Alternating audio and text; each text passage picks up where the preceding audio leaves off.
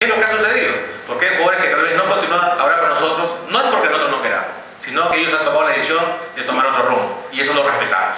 En Unión Guaral están los jugadores que quisieron quedarse y que contaban con el aval del cuerpo técnico. Ahí empezamos. Y también habíamos informado de un inicio que para poder participar en la segunda profesional, la parte económica era fundamental.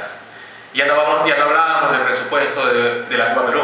Acá todo cambia porque acá para participar en el fútbol profesional tener una formalidad, hay que solventar gastos y poder cumplirlos mes a mes. Porque, por ejemplo, todos los jugadores que pertenecen a la plantilla no moral, así como cuerpo técnico, ya están en planilla, por ejemplo. Se pagan todos los impuestos de ley. ¿ya? Eso es una obligación. Ahora tenemos también que nuestros jugadores tienen que estar registrados en la agremiación de futbolistas. Hay una serie de cosas que pagar. Cambia la figura. El presupuesto también cambia. Definitivamente, cuando manejamos la Copa Perú, uno va avanzando y los ingresos van cambiando de acuerdo a dónde uno avance, porque uno empieza la digital, la provincial, sabe que la departamental es los ingresos, la regional los ingresos y la nacional, donde uno se ayuda. En la, en segunda no, acá tenemos que planificar otra cosa. Por lo tanto, vimos, nos vimos en la, en necesidad, porque es la necesidad de formar una empresa. Una empresa que se llama Guaral, Guaral Comedores que es la empresa administradora del equipo de fútbol Unión Guaral.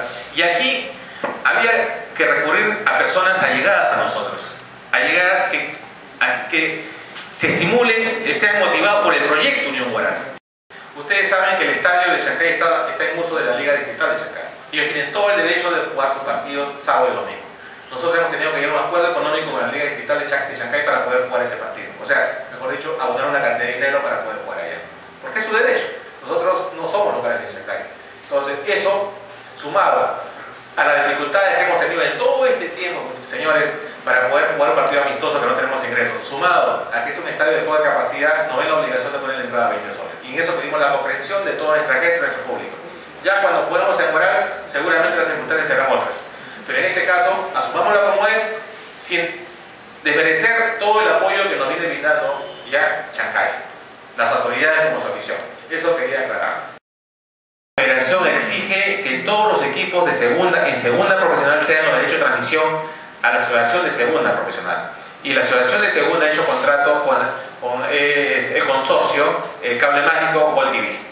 Ellos son los que tienen todos los derechos de la segunda profesional, en lo que es transmisión. Me refería al hecho de que muchas atrás hubieron con Cable el año pasado a raíz de los dos partidos con el San Simón de Iguel.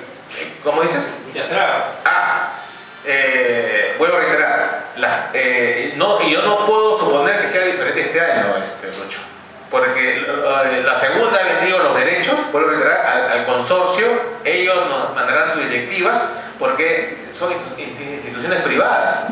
Ellos han comprado su derecho de televisión, si quieren lo transmiten o no, pero dependemos de ellos.